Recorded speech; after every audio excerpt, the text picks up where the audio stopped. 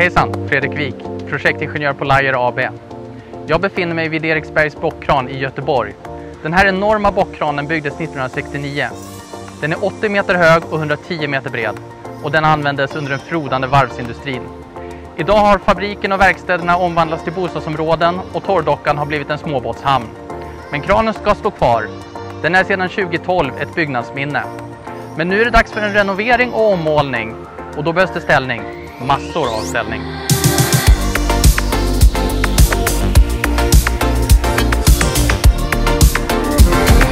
Robert Olsson, projektledare, KMA-ansvarig, Scaffolding Project Göteborg. Vi på Olaje blev ju inblandade i det här ganska tidigt när man började med förstudierna på det här och gjorde lite olika konceptförslag och sen fick ju jag ta över det och detaljkonstruera det. Men när blev ni inkopplade? Vi blev inkopplade rätt tidigt i offertstadiet. Sen gick vi vidare med er hjälp för att kunna lämna en offert och hade lite fler möten. Kom fram till den här lösningen som vi är idag. Ja, vi har ju haft några intressanta möten under projekteringen här och testat olika lösningar. Det har funkat riktigt bra. Vi har kommit fram till många lösningar tillsammans när vi har suttit över Skype-mötena och tittat och vidare och vänt på ritningarna. Ja, men det känns som det verkligen har varit projekt där vi har använt SIM och digital projektering fullt ut. Jo, det har ju blivit så på grund av Corona mycket att vi måste jobba på distans och hjälpas på det sättet istället. Och detta projekt har ju fungerat kanon. Det är ju någonting vi kommer fortsätta använda väldigt mycket i framtiden också. Det har underlättat oss jättemycket. Jo, när man började titta på det här projektet så såg det ganska okej okay ut. Men sen insåg man att allting lutar ju på den här. Både ben och plåtar och bommen är konad. Utrymmet mellan de lutande benen på respektive benpar har fyllts med volymställning. Den används ju efterhand som benen smalnar av och plattformar byggs. Men för att stabilisera den så monteras plandiagonaler. De sitter som ett liggande fackverk som låses mot benen i respektive ända. Detta skapar en stabilitet i ställningen som är viktig för ett säkert och bra arbete. Som för alla ställningar är det ju viktigt med förankringar och få en stabilitet i ställningen.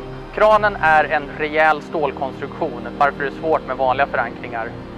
I toppen så används vissa svetsade förankringspunkter men den mesta stabiliteten fås genom tryckförankringar. Ledade bottenskruvar har använts som pressas emot det lutande benet. De stabiliseras med rör och kopplingar för att minska knäckrisken. När vi monterade tryckförankringarna så monterade vi dem på varje våning så att vi vid målning kan demontera ena våningen utan att påverka infästningarna. Det har ju varit några utmaningar vi har brottats med. Jo, det har ju varit det. Så den största utmaningen var ju hur ska vi bygga att killarna hela tiden arbetar på ett säkert sätt. Oftast bakom ett räcke också. Och inte behövt hänga ut med selar och jobba. Och det har ju varit en jättebra hjälp från er del att komma fram till dessa lösningar tillsammans. Jag såg att du hade tagit med många av de här ritningarna och 3D-modellerna ut till bygget också. Och de har varit en fantastisk hjälp. Jag har kunnat zooma på 3D-ritningarna och ta fram detaljer så jag kan visa gubbarna lite mer att så här ska det sitta på dessa specifika ställena. Det har underlättat montaget något fruktansvärt mycket. Väldigt effektivt sätt att arbeta med 3D-ritningarna. Man får ett annat djup på det och hittar alla lösningarna.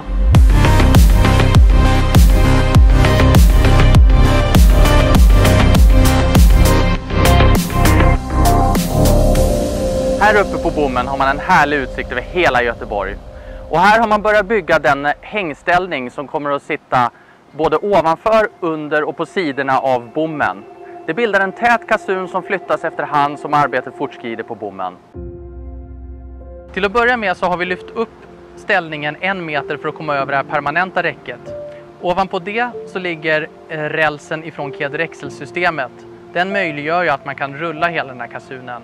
På rälsen så använder vi ett skålat stålhjul med hög kapacitet för att kunna bära upp de här 30 tonnen som ställningen väger. Basen är den här flexbeambalken.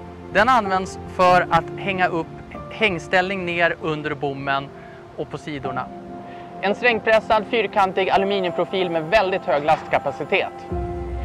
I ovankant så finns det en vanlig U-profil som man kan lägga i plattformar och ett antal olika adaptrar.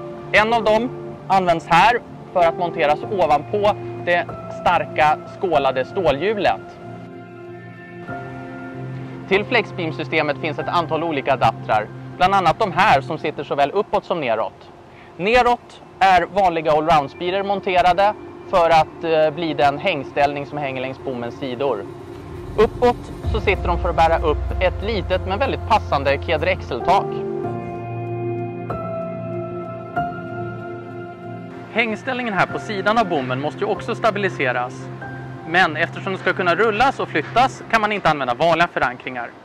Därför används de här stöttande hjulen och varianten med en halvkoppling så man kan montera ett rör som riktar upp hjulen.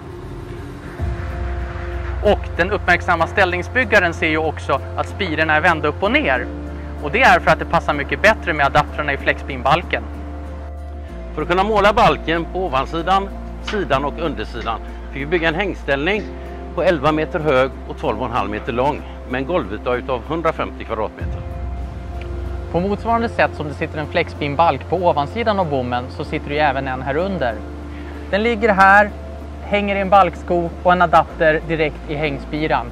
Och naturligtvis så är det ju tillhörande plattformslås som är fastskruvade. Tror du vi har fått till en bra lösning som eh, beställaren eh, uppskattar och kommer att ha bra användning för? Det har vi verkligen fått. Vi har fått väldigt mycket beröm för ställningen. Den runt benen är den mest stabila ställningen de någonsin har arbetat från. Den rör sig inte en millimeter. Så de känner inte ens när det blåser på grund av inplastningen på den. De tycker det är kanon att jobba. De känner inte av höjden ens. Bortsett från att eh, det är en häftig konstruktion så står den ju ganska känsligt till mitt i stan bland bostadshus och grejer. Och ni har haft en del utmaningar med det också? Jo, det har vi haft. Miljöpåverkan. Eftersom allting ska tvättas och blästras så får det absolut inte komma ut någonting.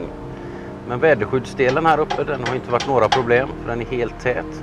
Och resterande har vi plastat och tejpat väldigt mycket. Allt vatten samlas upp, går ner till reningsstationen nere på marken och det har inte läckt ut någonting.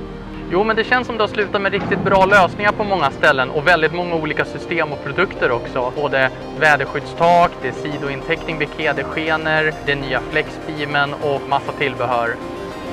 Och det har funkat jättebra. Det har ju varit så kompatibelt allt material med varandra. Så flexbeamen har ju passat in väldigt bra i det övriga materialet. Det har varit väldigt lätt arbetad. När vi monterat taket så har det inte varit några problem. Alla splintar passar perfekt. Det har bara rullat på. Ja, det är första gången ni arbetar med flexbeam va? Ja, flexbeamen har vi inte använt tidigare men eh, vi kommer använda den i fortsättningen. Med tanke på den bredden, man fick ut den fantastiska hängbredden under utan något stöd och så stabil som ställningen har blivit så kommer vi ha väldigt stora användningsområden för den här framöver. Dels broar i våran tanke, underrenovering av broar, vägbroar. Perfekt system för att använda till det. När vi har renoverat broar tidigare så har vi använt det vanliga systemet på rounden. Det kommer vi inte göra i fortsättningen. Det kommer bli flexbeamen. Den är outstanding. Det är ju onekligen ett riktigt landmärke och någonting som är känt här i Göteborg som ni arbetar på. Ja, det är väldigt stor uppmärksamhet. Tyckte att det varit fantastiskt. Det har varit ett riktigt eh, uppskattat projekt.